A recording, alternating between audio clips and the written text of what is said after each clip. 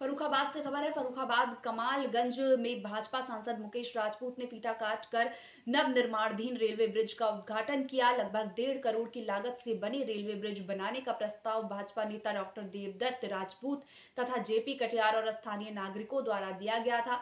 इस प्रस्ताव को तथा क्षेत्र के रेलगाड़ी द्वारा यात्रा करने वाले नागरिकों की समस्या को ध्यान में रखते हुए आज सांसद के सफल प्रयासों से रेलवे ब्रिज का सपना पूरा हुआ।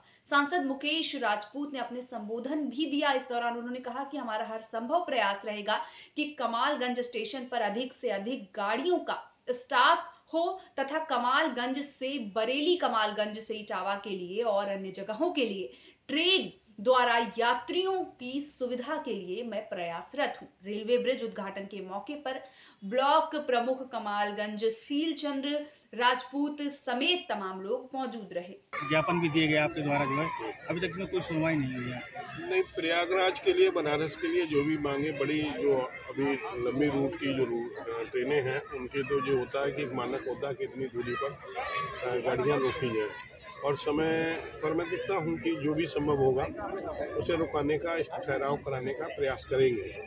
लेकिन सरकार का मानना है कि जो स्पीड ट्रेनें हैं, हाई स्पीड ट्रेनें हैं, या जो लॉन्ग रूट की ट्रेनें हैं, वो थोड़ी सी एक्सप्रेस ट्रेनें, वो थोड़ी सी फास्ट रहें, कम ठहराव हों उनके, तभी वो एक्सप्रेस नहीं तो वो फिर पैसेंजर ट्रेनों में कन्वर्ट हो जाएँगे। और एक पैसा, पैसेंजर से तो पैसा लगेगा, एक्सप्रेस मिलेगा और वो लोकल ट्रेनरों की तरह पैसेंजर ट्रेनों की तरह चलेंगे हर जगह ठहराव होने पर। वो देखते हुए जो भी संभव होगा, पूरा प्रयास करेंगे।